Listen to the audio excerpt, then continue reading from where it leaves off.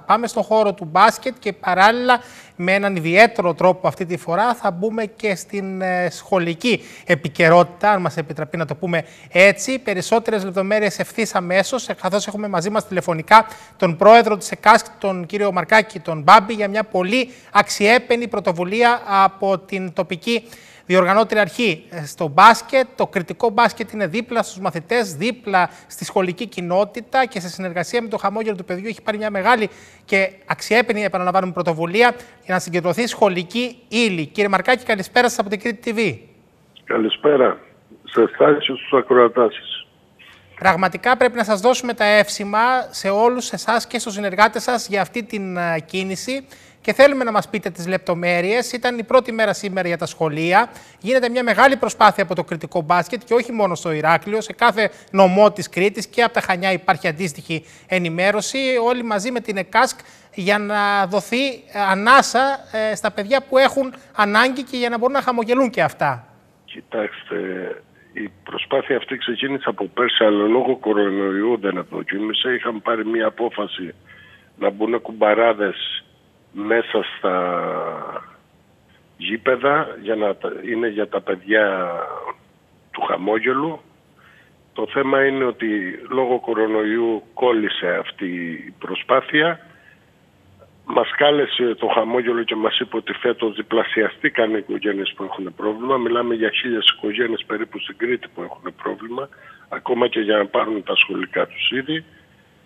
Θεωρούμε ότι κάθε παιδί κάθε παιδί έχει ε, στη μάθηση την, ε, πώς να σας το πω... Το δικαίωμα. Το δικαίωμα της μάθησης και το δικαίωμα να πάει και να είναι σωστά στο σχολείο του. Ξεκινήσαμε λοιπόν αυτή την προσπάθεια και αυτή τη στιγμή μαζεύουν όλα τα σωματεία από άκρη σε άκρη της Κρήτης σχολική ύλη για αυτά τα παιδιά που θα παραδοθεί στον, στον κάθε νομό στο χαμόγελο του παιδιού. Φαντάζομαι, Πρόεδρε, ότι θα υπήρχε ανταπόκριση άμεση από όλα τα σωματεία. Το είπατε ήδη, αλλά θεωρούμε ότι θα το είδαν με πολύ θετικό μάτι άπαντες. Κοιτάξτε, δεν είναι μόνο τα σωματεία. Εμείς καλούμε τους πάντες που θέλουν να βοηθήσουν σε αυτή την προσπάθεια και τους, αν θέλετε, τους παρακαλούμε να βοηθήσουν αυτή την προσπάθεια να μην μείνει κανένα παιδί χωρίς τετράδια, στυλό, ντοσιέ, τα πάντα, μία τσάντα και να βοηθήσουμε όλοι. Ξέρουν που μπορούν να τα δώσουν, ξέρουν που μπορούν να τα, να, τα πράγματα αυτά να μαζευτούν. Τους παρακαλούμε γιατί είναι μια προσπάθεια για αυτά τα παιδια Δεν είναι θέμα ότι θα δώσουν 5-10, ό,τι μπορεί ο καθένας αυτά τα παιδιά να έχουν την άλλη μέρα το πρωί να πάνε στο σχολείο τους. Οπότε, θυμίστε μας μόνο μέχρι πότε ε, θα έχει διάρκεια αυτή η προσπάθεια; Είναι μέχρι τις 20, 20 του μήνα νομίζω. Αλλά εντάξει δεν είναι θέμα αυτό. Μπορούμε να το παρατείνουμε για δύο μέρες. Είναι, ο κόσμος ε, ήδη μαζεύει πράγματα. Τους ευχαριστούμε πολύ και πιστεύουμε ότι θα, και άλλοι θα έρθουν πέρα από το πάσιο να βοηθήσουν αυτή την προσπάθεια. Άλλωστε σίγουρα ο αθλητισμός πάντα έστελνε πρώτος μηνύματα σε κάθε περίπτωση για την κοινωνία, έτσι δεν είναι; Έτσι είναι. Μα αυτό είναι ο αθλητισμός. Πραγματικά... Ο, αθλητι... ο αθλητισμός είναι πολιτισμός, το έχουμε ξαναπεί αυτό Γιώργο. Πολύ σημαντικό και είναι σημαντικό να τα ακούμε και να το βλέπουμε και στην πράξη πέρα από τη θεωρία. Ε, δεν μπορώ να μην σας ρωτήσω κλείνοντας αυτή τη τηλεφωνική επικοινωνία που είχαμε ε, για τα αγωνιστικά δεδομένα. Το 2020 και για το μπάσκετ και για το κριτικό μπάσκετ σαφέστατα ήταν μια χρονιά με ιδιαίτερες δυσκολίες. Άλλωστε δεν μπορούσε να γίνει και κάτι διαφορετικό. Τι μπορούμε να πούμε από εδώ και μετά, τι μπορούμε να περιμένουμε. Θα πηγαίνουμε μέρα-μέρα. Δεν μπορούμε να κάνουμε τίποτα άλλο. Μην ξεχνάμε ότι το μπάσκετ παίζεται και σε κλειστά, που αυτό είναι ένας παράγοντας ακόμα πιο... Δυστυχώς δεν μπορούμε να κάνουμε τίποτα παραπάνω από το να περιμένουμε, να παίρνουμε τα πρωτόκολλα και να δούμε πώς θα ξεκινήσουμε και πώς θα παίξουμε.